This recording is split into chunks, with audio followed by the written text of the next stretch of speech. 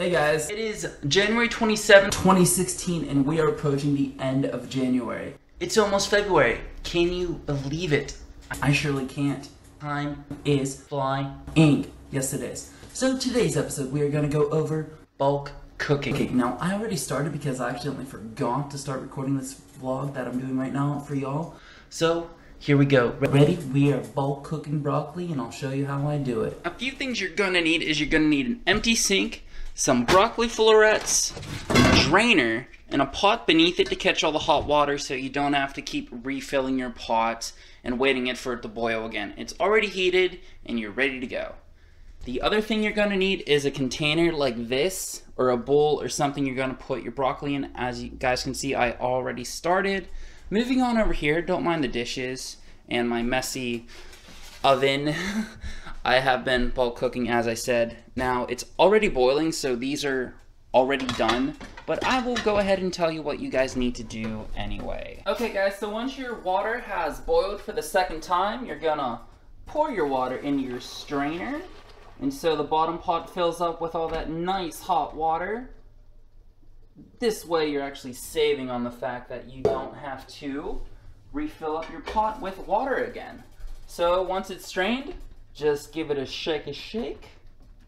Let all that water seep in there. And the next thing you are gonna do is you're just gonna pour it right into your container where you're storing all your broccoli for the rest of the days. Cooking in bulk is simple.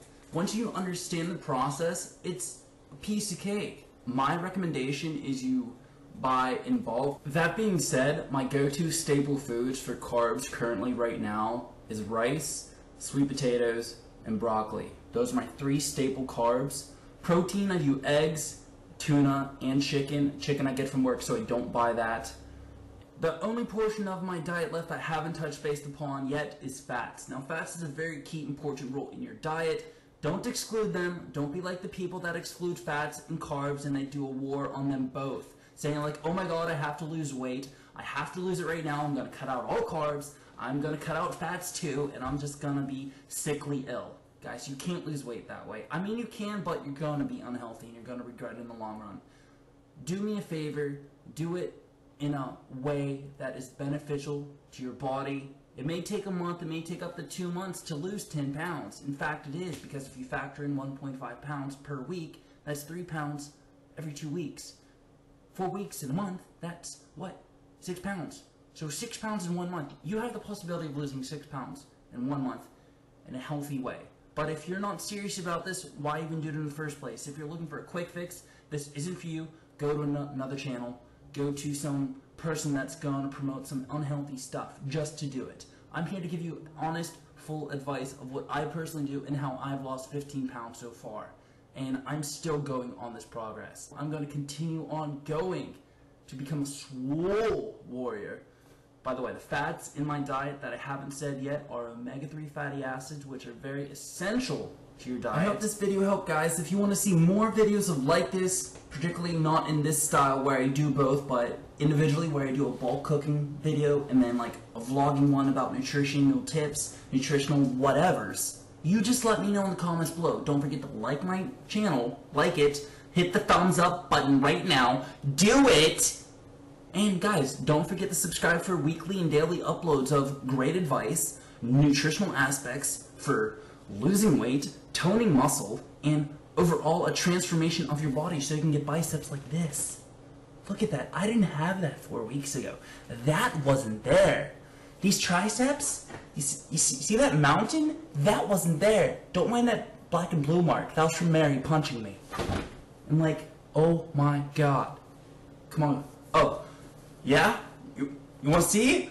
You can't see this yet. It's not done. No, we're not there yet. We are not on this relationship yet. But one day we will be, and hopefully in that day, I'll be able to show you my demigod body.